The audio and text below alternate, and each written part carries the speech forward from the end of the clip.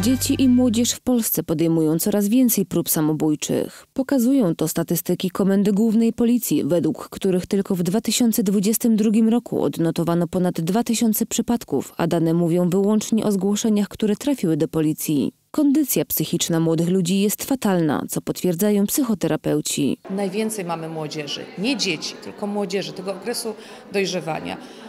Główne strategie zaradcze młodzieży to samookoleczenia. To jest coś, co dzieje się teraz y, nagminnie. Jest to sposób, w którym młodzież radzi sobie, jak to kiedyś jedna dziewczyna tak pięknie powiedziała, że próbuje przekuć ból psychiczny na ból fizyczny. Więc to jest sposób, który pomaga regulować, ale to pomaga oczywiście robimy w cudzysłowie, ponieważ pomaga tylko doraźnie.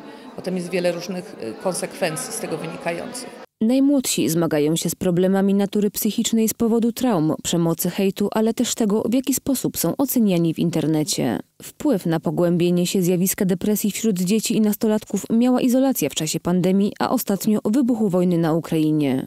Tych problemów jest coraz więcej, z którymi sobie młodzież nie radzi. One się nawarstwiają. Ym, nie wiedzą, gdzie szukać pomocy. My dorośli nie potrafimy zauważyć, jak przed chwilą słyszeliśmy na wykładach, takich pierwszych symptomów, wyłapywać takich sytuacji, gdzie y, y, dziecko próbuje wołać jakoś o pomoc.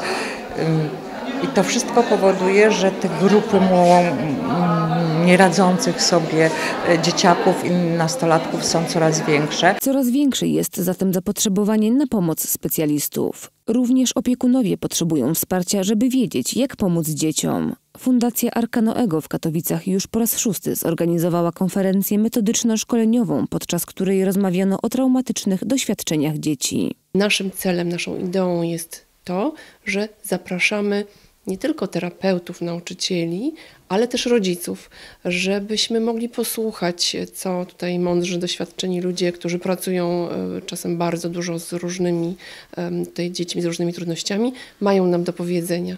Różne nowości, różne nowe spojrzenia, e, ale też niekoniecznie nowe, ale po prostu inne. Terapeuci mówią, że trudno wskazać jednoznacznie zachowania, które powinny zwrócić szczególną uwagę i niepokój opiekunów. Podkreślają jednak, że każda zmiana zachowania jest pretekstem przynajmniej do rozpoczęcia rozmowy, żeby wiedzieć, gdzie ewentualnie szukać pomocy.